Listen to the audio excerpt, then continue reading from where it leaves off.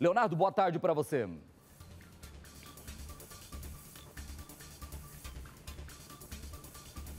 Oi, Lores, muito boa tarde para você, boa tarde a todos que acompanham o Balanço Geral. Nós mostramos tudo ao vivo, a chegada dessas meninas ontem aqui na UPA Pediátrica de Anápolis. Elas passaram a noite sendo hidratadas, recebendo os cuidados médicos e tem novidade aí. Será que elas vão receber alta ainda hoje? Mas eu quero conversar primeiro é com o pai dessas meninas, o pai das crianças de 6 e 11 anos. O Francisco Edilson está ao meu lado e estava agora há pouco lá dentro, lá no quarto, junto com as filhas. Como que tá o clima lá? Tava almoçando? Me conta isso. Boa tarde para você, Francisco. Boa tarde. Né? Elas estavam almoçando, inclusive estava brincando, fazendo desenho.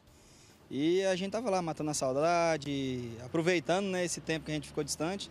Mas graças a Deus elas estão bem sim, já estão saudáveis, estão só esperando, no caso, os exames mesmo para a liberação delas. Tá mais aliviado agora, a companhia das filhas lá, elas estavam contando alguma coisa para você?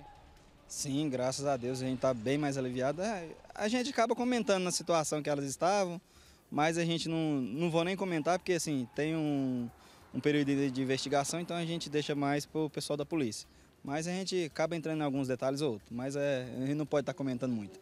Observando assim, as crianças, elas estão bem? Elas se machucaram? Já que a menorzinha, por exemplo, tem alergia de alguns bichos, como que ela está? Tem essas reações alérgicas sim, tem algumas ranhuras de mato, que é, geralmente acontece, mas aparentemente elas estão bem sim, graças a Deus. E o, vo, vo, pois não, o, o Lores? Não, pode continuar, Léo. Ô Francisco, Pois, ok, Lores, o Francisco, e a mãe também está agora aliviada? Como que está a mãe da, das crianças? Ela não, sai, não arredou o pé aqui da UPA, né? É, até por, como se diz, uma regra do hospital não pode ficar os dois. A gente até queria acompanhar e tudo, mas realmente ela ficou aí a noite toda, inclusive está lá dentro agora com, a, com, as crianças, que a gente fica até naquele suspense. Se um sai, o outro fica para não, não acontecer nada, mas ela está lá dentro, ela está bem também, já está todo mundo estabilizado emocionalmente. Hoje de manhã você disse que iria na polícia, você chegou aí à polícia, prestou um outro depoimento é, um, novos, com novas informações? Como assim, o caso ele ia ser transferido, mas como achou elas antes, é, não foi bem um depoimento. A gente só trocou uma ideia mais com o delegado, mas como não está mais na restrição dele, está no pessoal de Goianápolis, foi mais só um.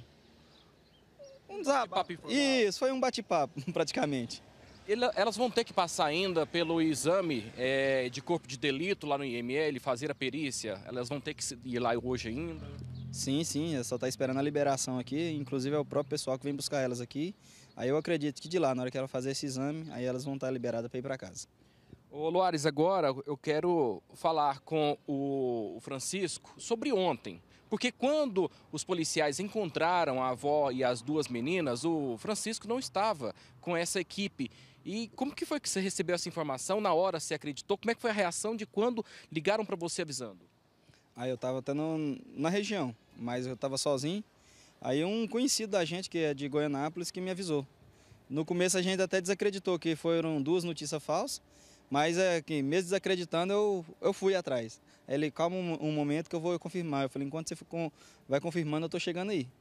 E graças a Deus, na hora que eu cheguei lá, ele falou, eu fui perguntar para ele, ele, não, moço, entra, sua filha mesmo, pode entrar lá, vai ver sua menina, depois nós conversa. E graças a Deus deu tudo certo a partir daí. No primeiro momento você não conseguiu ver as meninas? Não, não, a pressão. Aconteceu aí. A pressão baixou, deu um apagão lá na hora, tive que me restabelecer de novo para mim poder ver elas, que foi fiquei muito emocionado na hora, não, não deu nem para não dá nem para descrever o momento. Só agradecer a Deus mesmo naquele momento em que você recebeu a ligação, teve a certeza então de que elas estavam lá no hospital, né? Com certeza. Nossa senhora, foi um alívio imenso. Principalmente depois que eu voltei, né? Daquele momento de emoção, aí foi só agradecer a Deus mesmo. Só ficar coladinho nelas agora. Ah, com certeza. Agora a gente vai voltar lá para dentro, vamos acabar de almoçar e aproveitar mais, matar a saudade.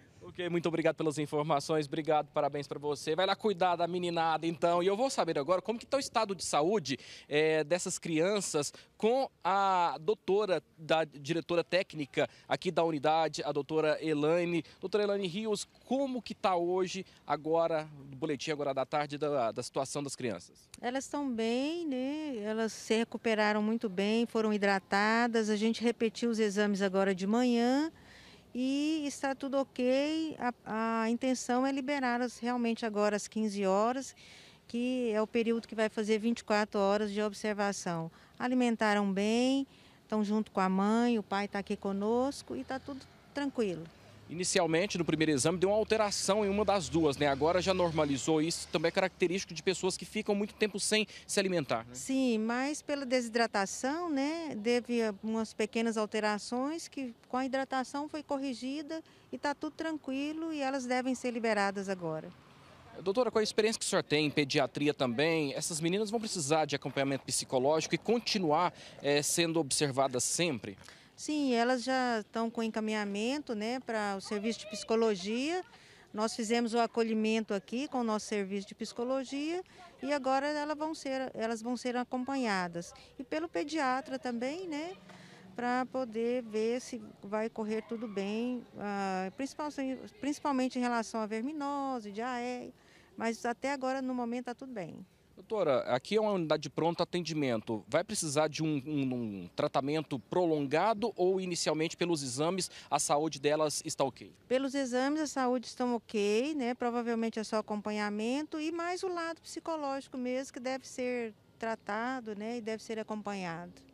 Então hoje por volta de três da tarde elas vão receber alta? Tá tudo certinho, sim. Tá tudo programado e elas já vão receber alta. Muito obrigado pelas informações, parabéns pelo trabalho é, à frente da direção técnica e Olares. Olha só que boa notícia. Ficaram aqui praticamente 24 horas e daqui a pouco Logo mais às 3 horas da tarde, as duas crianças de 6 e 11 anos vão sair com a mãe, também com o pai, vão lá no IML fazer exame de corpo de delito. Depois, elas já estão liberadas para ficar em casa juntamente com a família. Já a dona, é, a avó, né, de 45 anos, ela continua na UPA e deve ser encaminhada para atendimento psiquiátrico, Lores. Obrigado, Leonardo Gonçalves.